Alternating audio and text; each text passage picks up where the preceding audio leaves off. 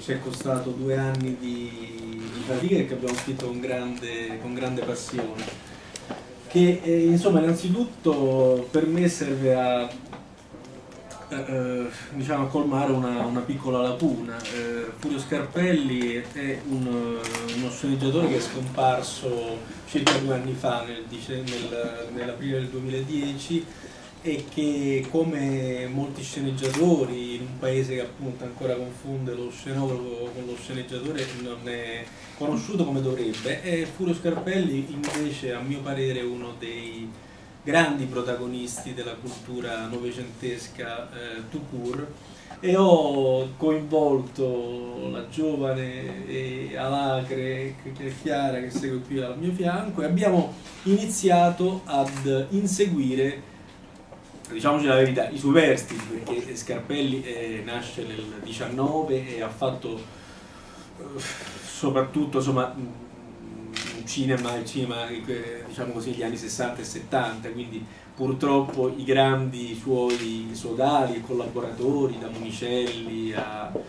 a Comencini, da, da Tino Risi a, Alberto Sordi, a, da, da, da Tognazzi a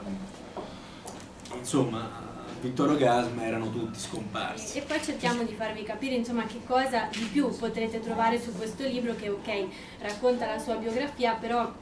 il nostro scopo era un po' quello di cercare lo Scarpelli inedito, quindi attraverso le testimonianze, la persona, chi era, eh, i racconti. Eh, la cosa che secondo me lo rende, cioè come dicevi prima, fondamentale per la storia italiana del Novecento è che lui è riuscito attraverso i film in cui ha lavorato a raccontare un momento fondamentale dell'Italia, cioè quello in cui è passata da un paese povero a un paese con grandi speranze, spesso, ed è questo forse il dolce amaro della commedia italiana. Ma... Un'altra cosa che mi piaceva dire a parte è che all'interno del libro oltre a tutto quello che è il saggio cinematografico c'è anche una bellissima storia d'amore, questo bisogna dirlo perché comunque lui eh, ha portato avanti per tanti anni una storia con Cora che è stata la sua unica moglie e insomma in quell'ambiente lì è difficile avere un matrimonio così duraturo e così bello, invece loro ci sono riusciti e quindi c'è tutto il libro che è pervaso da questo amore lunghissimo con Cora che racconta prime, i primi tentativi di Furio che la inseguiva nell'autobus, lei scendeva, lui la inseguiva di nuovo. Per quanto riguarda gli allievi, come cercavo di dire, senz'altro la personalità in cui il, il magistero di Scarpelli è più scopertamente rinvenibile è beh, proprio quella di, di Paolo Virzì. Eh, Scola ha fatto un'antiprefazione come era nel suo, eh, nel suo stile, cioè Ettore Scola non è uno che ama fare prefazioni, questo chiunque lo conosca un po' eh, lo, lo, lo sa quindi quando gli abbiamo chiesto la prefazione lui era tentato perché da una parte diceva sì, mi piace il libro, l'ha letto, era comunque... Eh, sì, l'ha apprezzato. L'ha apprezzato.